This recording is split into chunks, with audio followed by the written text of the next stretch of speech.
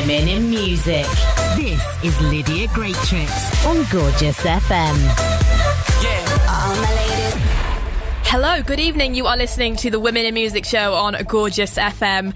And now it is time for the Woman of the Week. And this week it is singer songwriter YVA. Um, YVA's powerful voice mixed with raw, truthful lyrics make absolutely beautiful listening. And I'm so glad I've got the chance to share her story with you. Um, YVA grew up in Newcastle upon Tyne, singing in open mic nights um, before moving to London and pursuing music. Um, it's not been easy for her along the way, and being an artist in lockdown certainly hasn't been ideal for her either. Well, currently, um, at home with my mum and dad. Um, we sort of drove back just before Christmas. It was yeah, it was before the new restrictions came in. I was just determined to get home for Christmas to be with my family because, uh, yeah, what a year. But um, so yeah, we kind of got stuck here, but we're heading back uh, tomorrow to because we need to work. We need to get with the, in the, back in the studio and get some stuff recorded. So um, it's been all right. I'm just bored. But where did this love of music come from that you have? Because oh my gosh, your voice is just oh like mind blown. Oh, thank you. Can I have it, please? Uh, yes, take it. I'm going to get an ordinary job because it'll pay better. Um, um, you know what? I don't know because you know, and you, you when you hear stories of artists, they're like, "Oh, I was really exposed to cool music growing up, and it was just really." But I was exposed to music in in a in a very folksy kind of way. Like my my we have a caravan in the northeast, and all our families and friends would get together in someone's caravan, like my cousin's caravan, and uh, the guitars would come out, and people would start singing, and and I remember some of my earliest musical memories are in that setting. So like I remember hearing a minor chord for the first time and being like, "Ooh, I like that." And sad song, I think, "Oh God, that that really touched me in a way that the other songs didn't."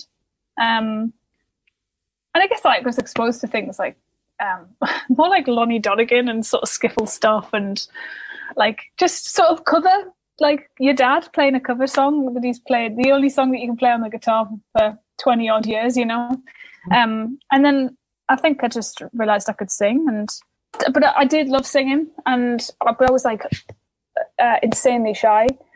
And so i started doing like drama classes and stuff came out my shell a bit and then realized how much i actually loved performing. And it was just it was always in me and it was something that at first getting over the barrier of being like petrified of speaking too loudly woo, saying the wrong thing was actually oh, a feeling of utter freedom. So I guess it's just been like a lot of grafting since then, just trying to get your voice heard like as much as possible. And yes maybe I maybe I assume I don't know how people start, but like doing open mic nights maybe, or just Oh, yeah, yeah. as much Oh. as you can. yeah when i when i dropped out of uni i came home and um my dad was like okay well we'll, we'll i'll take you to some open mic nights we'll go together and make it a thing so I, at one point i was doing like on a monday Tu- monday night at maggie bank tuesday somewhere it was stein beer keller on the quayside or something and then there was one at the trent pub i think it's called next to the hospital and then uh yeah i was doing like maybe five, four or five open mics a week just there was one in like just obscure pubs in the middle of nowhere you know? Just wherever there was an open mic i would i would get up and just pra- it was just really good pra- practice really. It's like when comedians do like little comedy clubs and test out their material. It's a bit like that. Um so yes open mics and then and then eventually someone asked me to do a support gig for somebody at the Cluny which is like I don't know if you've ever been to Newcastle but it's quite a good grassroots venue a lot of like touring independent artists play there. So I started doing um, a few support gigs there, and it kind of just went built. I've listened to your music. It's completely different to what I've heard before. And I was just wondering if you had any kind of like artists that you're inspired by or sounds or genres that you're inspired by with your own music. Or I mean, Radiohead. um. Radiohead is like the primary go-to for me. I just think what they make is will go. It's transcendent, um, without being hard to connect to, and the way Thom Yorke delivers his lyrics and his vocals is so otherworldly. Um, but just like the the way they construct songs and the way they put instruments together feels very raw, even though it, the, the thing I wanted from my music was that it would be organic with touches of like electronic production and stuff. Um, a bit like what they do, but I couldn't. As much as I'd written Fountain of Youth, we kind of sat down. Me and my partner sat down and sort of fleshed out these parts again. That was the first time I'd written that way, um, changing chords and changing melodies, and because uh, usually I just sit with a guitar and I just write whatever comes out, and that's how it stays. I couldn't have expected Fountain of Youth to sound the way it does. Your favourite woman in music, though, that you picked. I'm so happy you picked this person. Joan as Policewoman. Oh. I have been singing this song all week. Christobel. Uh, someone, my mate, one of my mates recommended it to me a few years ago, and I was like, "Oh yeah, I like this." And then I didn't listen to anything else, and I think at the time I just wasn't ready for it. And then, and then I was just been delving in a bit more deeply recently, Oh I'm like, God, God, this is really good. And the melodies are just amazing. The harmonies and the way the way she delivers stuff just so coolly, like so she really sits back mm. and and lets the, the, the, the chaos around her kind of speak for it. And then when she does let rip, it's like, oh, really nice. That's the jazzy tones of Joan as Policewoman with her song Christobel.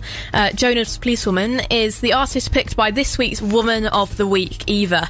Um, and it wasn't actually in the final cut version of the part you just heard, but YVA also told me that she loves Kate Tempest um, and she loves Anna B. Savage, and she's told everybody to check them out. Um, and as you may have seen in the news this week, the government has launched an inquiry into how streaming services are affecting the incomes of people who work in the music industry. This is a topic that YVA is really passionate about because now she is about to tell us how much she's earned from one song being out over on streaming services. I've had a song out for two years and I've only paid myself something like six hundred pounds. That's that's literally nothing. Wage. Mm-hmm and that's that's the money I've paid myself. I owe myself about two grand, two and a half grand. So even if you think about it, like okay, if I if I didn't if I didn't cut it down to how much I've actually paid myself, because I have to pay, um, produce, I have to pay mixing engineers, mastering, I have to pay uh, mix like fees and stuff, recording fees, session fees, studio fees. Um, so of the total amount that I've actually been paid from streaming, it doesn't even equate to three months minimum wage. How am I supposed to survive on that? so that's why, and it's also when you when you open up a Spotify like new release page, it's all the likelihood of all of those artists being on Warner, Sony, or um, Universal are very high because they own the the majority. So it is really rubbish. Um, but they can change it. They can change the platform to to be fairer, so that they're not losing out. The majors don't have to lose out, so the independent artists can can thrive. Have you had to actually change how you pay your bills, like what you do to make money as an artist because of streaming? We invested in a home setup so that we could record at home, mix at home, engineer at home, so we didn't have to pay anyone else. So we've I've I've, I've, I've cashed out for equipment. Um, but in the long run, that'll save me money. At the end of the day, I don't think it's it's uh, unless you're gigging constantly, which is obviously impossible at the moment, and you're quite established. It's really hard to make money as an artist, even without streaming. Because mm. even before, you know, when I was doing support gigs, it'd be like twenty quid, twenty quid cash, or yeah, you get paid. What was it? I've done a few gigs where they say you get um like two quid per head that you bring along. And the person when they come in they would have to put who they've come to see. So if you only brought in five people or ten people to a gig that's not even thirty people, you'd only get paid like a tenner. It's like, what are you putting the gig on for? What's the point? I've kind of resigned that I'm not gonna make money from music full time. So it's not so much that I've made any decisions that change the way I make music, but um, just realizing and being happy with the fact that I'll probably have to make money elsewhere. Either that's part time or I do something for myself, like a business venture or something. You have to be you have to be spinning like a million plates to make it work. Mm-hmm. I was um, wondering if you thought that women in music find it get are hit harder? You know, at the end of the day, I can only really speak from my own experience, and I know that women in music, uh, statistically, have a worse time in in the music industry just because they're taken less seriously. And my experience is that people don't always take your ideas on. Um, you know, they might like, those sessions that I did in my early twenties. I was at the back of the room, so the guys here, and so was a guy. I think I worked with. No, I didn't work with any any female, any women producers. The guys always at the desk, and I'm behind. And I thought, okay, that's my role. I sit at the back while they do all the work, and I just come up with some lyrics.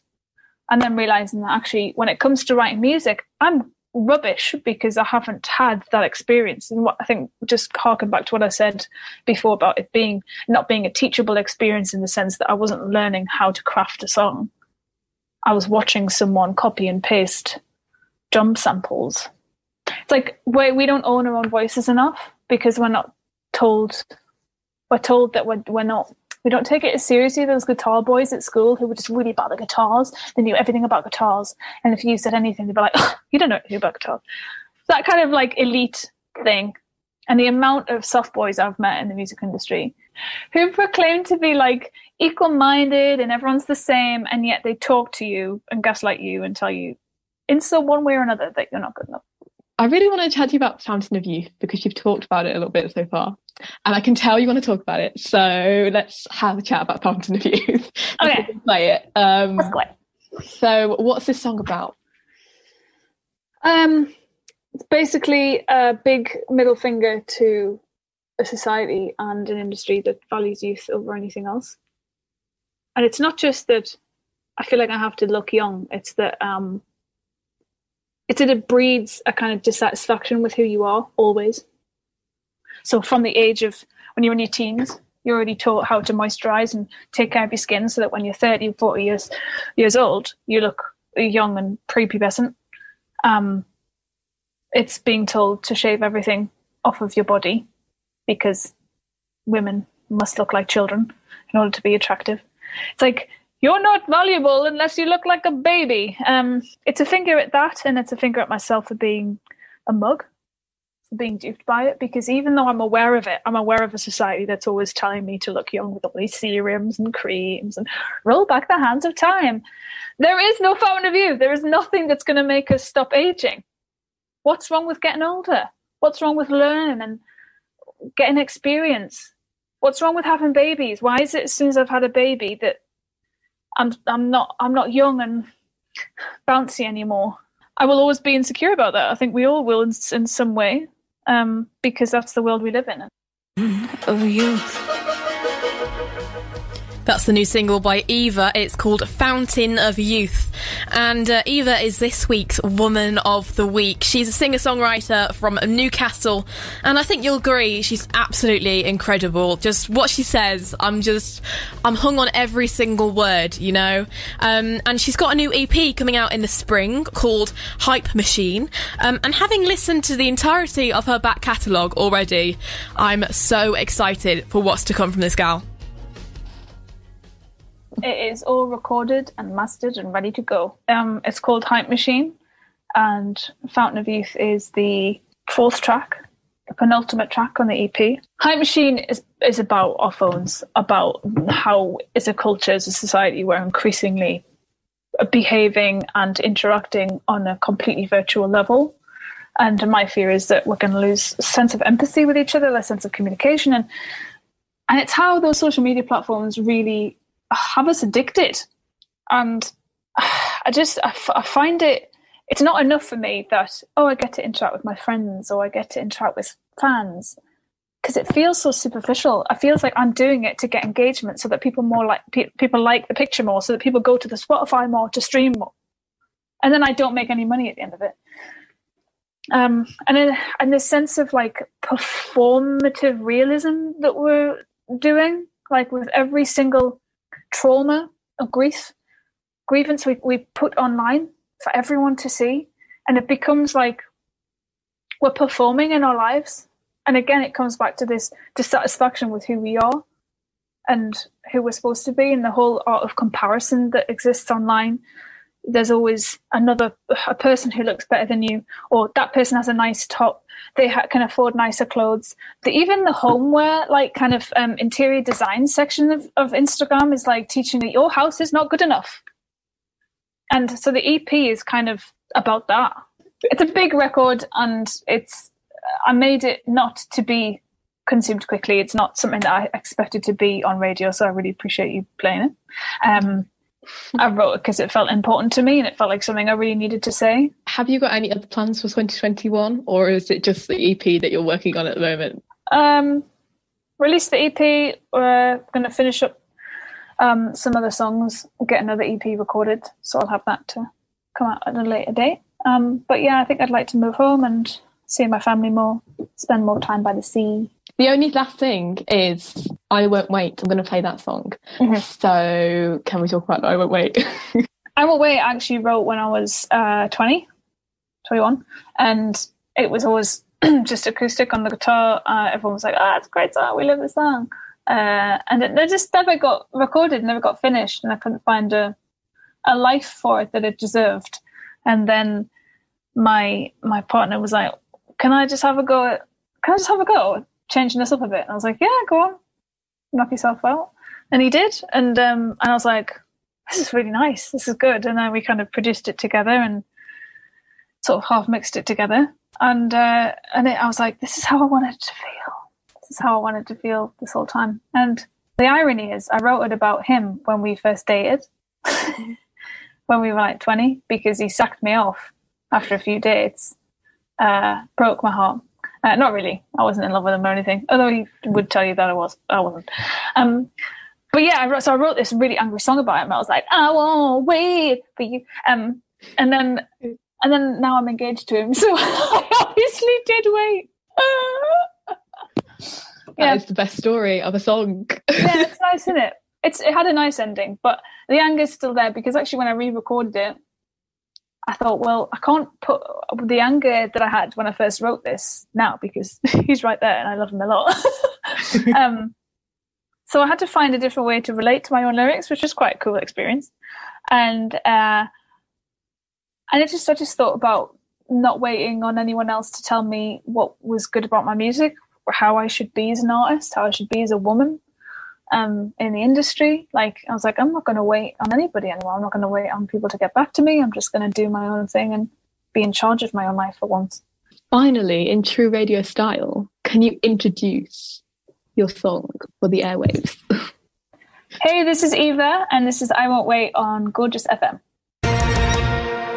I Won't Wait by YVA. This is Gorgeous FM, and that was this week's Woman of the Week.